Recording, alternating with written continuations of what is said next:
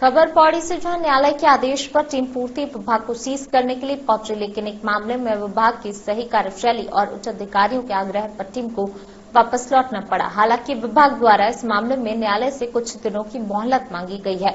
दरअसल, वर्ष उन्नीस सौ में पूर्ति विभाग द्वारा बीनोखाल ब्लॉक के पोखाल गोदाम को प्रेम सिंह से किराए पर लिया गया था। काफ़ी साल तक प्रेम सिंह के निजी भवन में संचालित होने के बाद गोदाम प्रेम सिंह की पत्नी चंद्रा देवी के नाम हो गया। इस अवसर पर प्रेम सिंह और चंद्रा देवी ने भवन किराए में वृद्धि को लेकर पूर्ति विभाग के साथ पत्रोच्चार किया, लेकिन विभाग ने गोदाम अन्यत्र स्थापित कर लिया, जिस पर प्रेम सिंह और चंद्रा देवी ने किराया भुगतान करने हेतु न्यायालय की शरण ली है।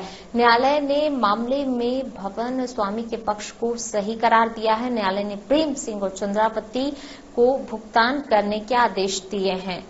भुगतान नहीं करने की दशा में न्यायालय ने कार्यालय को सीज करने के भी आदेश जारी किए हैं। विभाग ने चंदा देवी को तो भुगतान कर दिया, लेकिन प्रेम सिंह को भुगतान नहीं किया गया और कुछ समय मांगा है, जिस पर कार्यालय पर की जाने वाली कार्रवाई कुछ दिनों के बाद ही हो सकेगी। पौड़ी से मुकेश बछेती की रिपोर्ट। ये राजकीय मंडल पोखराल के किराए का मामला था, जिसमें स्वीकृत न होने के कारण उनका भुगतान नहीं हो पाया मकान मालिक का। इसमें माननीय न्यायालय ने हमें भुगतान के आदेश दिए हैं, जो हमने अपने विभाग अध्यक्ष को अग्रसारित कर दिया है मामला। एक मामले में जो भुगतान किया गया था, उसकी प्रति हमने उनको दे दी है न्यायालय के जमा करने के लिए।